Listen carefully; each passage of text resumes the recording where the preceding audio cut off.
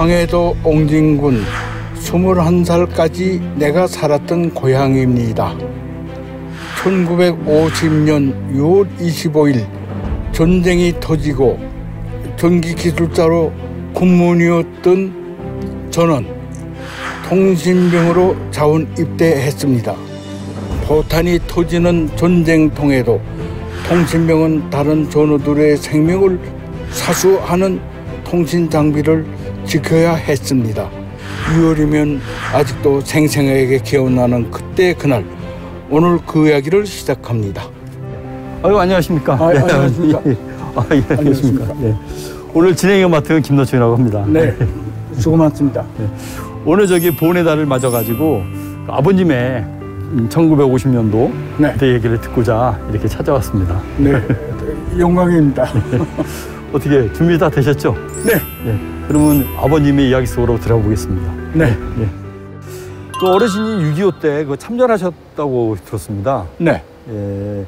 그때 나이가 어떻게 되셨죠? 21살의 6.25입니다. 아, 21살이요? 그 1950년 6월 25일 전쟁이 발발됐을 때 어디에 살고 계셨어요? 그때는 서울에 있습니다. 아, 서울에? 네. 예. 음, 서울에 있다가 서울이 6월 28일 날인가 들어왔어요, 새벽에. 예. 25일이 발발됐지만 28일 날 새벽에 4시쯤 되니까 탱크 소리가 들리더라고요. 음, 네. 음.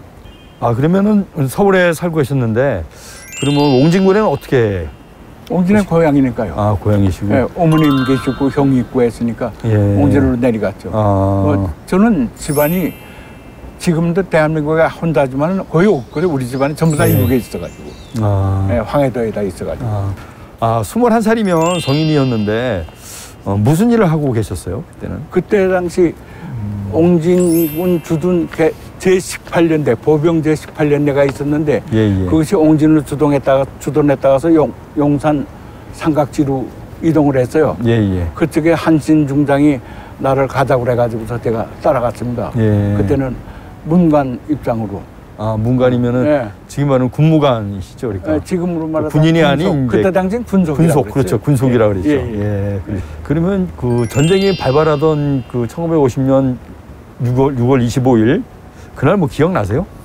뭐 그냥 군인들이 1차 휴가가 제대하고 2차가 떠나려고 하댔어요. 예. 군인들이. 예. 그런데 그냥 헌병들이 백차로 서울 시내 다니면서 군인들은 본대로 돌아가라 본대로 음. 돌아가라 막 그러더라고.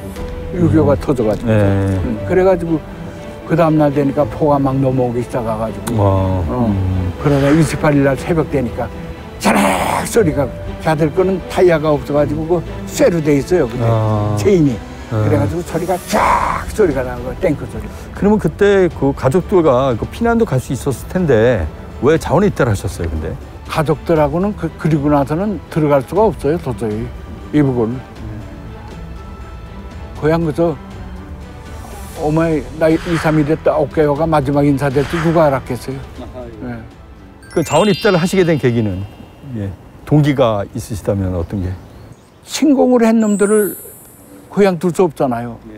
우리 전쟁을 해야죠. 그래서 오로지 그런 일념 하나에 거기 입대한 거죠. 부대를 찾아간 거죠. 그러니까 내 마을, 내 조국을 지켜야겠다. 예, 예. 신념으로. 자원 입대하신 거군요. 뭐 딴 건 아무것도 없죠. 71년 전 결코 일어나지 말았어야 할 민족 상잔의 비극 6.25 누구도 예상하지 못했던 갑작스러운 전쟁이었다. 그 고통은 고스란히 국민들의 몫이었다. 고향을 등지고 피난길을 올라야 했고 청년들은 조국과 가족을 지키기 위해 전쟁터로 나갔다. 잔입대 하셔가지고 네. 훈련 후에 이 자대 배치를 어디로 받으셨죠? 네, 21년대 본부 예, 예. 통신대가 있었어요. 아 통신대요. 예. 그러면 통신병과로 그러면은 그렇죠. 말하자면? 병과는 아. 통신대죠. 그 통신 통신병 그러면은 이 본부랑 연락도 하고 뭐 작전 연락도 하고 지금 따지면은 서로 소통하는 이 전화기 역할이고 맞죠? 전화도? 전부 내가 또 가서 했고. 아, 예, 네. 예. 음, 그러시군요. 아. 가장 기억에 남았던 뭐 치열한 전투가 있다면 어떤 게 있을까요? 이 보, 그 창린도 맨 그때 무인도가 보리섬이라는 섬이 하나가 있어요. 예, 예. 그건 1월 9일 날인데요. 예. 우리는 뭐 병력도 약하고 하니까 그냥 후퇴를 해가지고 저 하다 하다 끝에 가니까 갈 때는 바다밖에 없거든요. 예.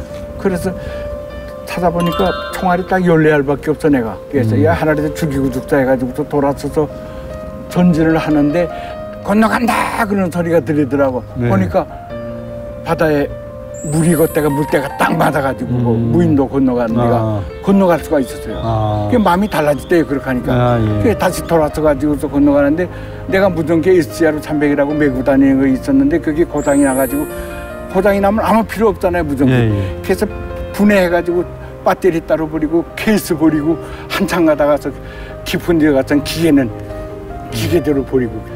그래서 그렇게 던지고서 내가 데리고 있던 놈을 그래도 내 책임으로 끌고 가면서 건너가가지고 걷어차면서 이러면서 빨리 가야지 안 가면 죽는다고 음. 그래서 걷어차가지고서 건너가서 무인도가 불이 하나가 있습니다 한 100여 명이 거기에 모인 거예요 후퇴해가지고 예. 그래서 밤에 뽀딱 쓰고서 여기 싸 여기 싸 하면서 뒷놈이 앞에 놈 보고 졸면 죽어 그 졸면 죽는답니다 그런 데 가서 네. 걷어가지고. 물은 여기까지 1월 9일 하는데 수첩이 반이 젖었, 그렇죠. 젖었더라고 북한군의 그 병사들은 어린 병사들이 많았죠. 아, 저 아시보 총이 깁니다 그 예, 예. 걔들이 소련장 총이라고 그러는데 예, 예. 그게 달 정도로 음. 18살 여따이들 서부터 시작해가지고 예. 걔들도 어린아이가 많대요 음. 우리는 뭐 말할 것도 없고 우린 또 아, 열대 살서부터 우리도 서른 몇 살까지 음. 있었고 참 마음이 아프네요. 예. 예. 보면은. 방아쇠만 당길 줄 알면 전쟁터로 보내졌던 청년병들. 수많은 젊은이들이 청춘을 펴보지도 못한 채 목숨을 잃었다. 총탄이 오가는 전쟁터는 총탄만이 무서운 건 아니었다. 굶주림과 추위, 언제 죽을지 모른다는 두려움. 이 모든 것들과 싸워 살아남아야 했다. 아, 전쟁터에서 그 죽을 고비를 많이 넘기셨을 것 같은데 어떤 일이 있으셨나요? 고지에가 인명문이 있었고 우리는 그 아래 동네를 갔는데 네.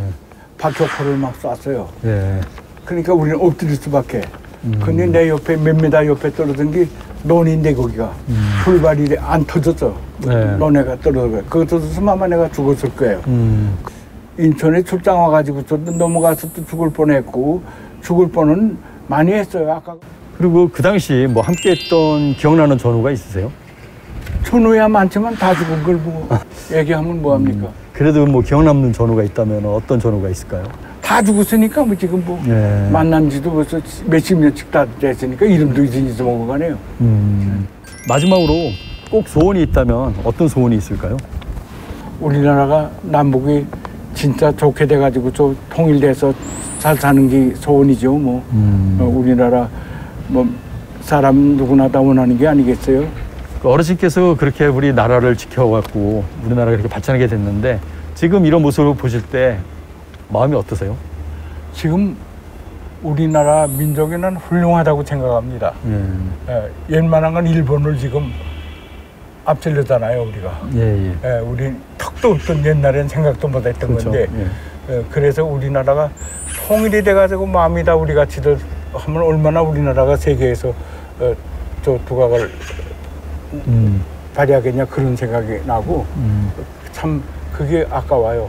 아, 이 차를 타고 다녀봐도 도로 이렇게 잘 돼 있고 음. 통신은 이런 데가 어디가 있습니까? 예. 통신이 음. 휴대폰 가지고 안 되는 데가 없다시피 하고 그렇죠. 예. 예. 또 정지는 정전이 없습니다. 옛날에는 음. 그냥 하루에 뭘 가라고 정전이 되고 그런데 정전도 없고 수도도 언제 또 털면 나오고 우리나라 참 좋아졌다고 생각합니다. 음. 예. 다 이거 어르신 덕분에 아니죠. 뭐 내가. 무슨 뭐 그래서 저희들이 이렇게 자부심을 갖고 있습니다.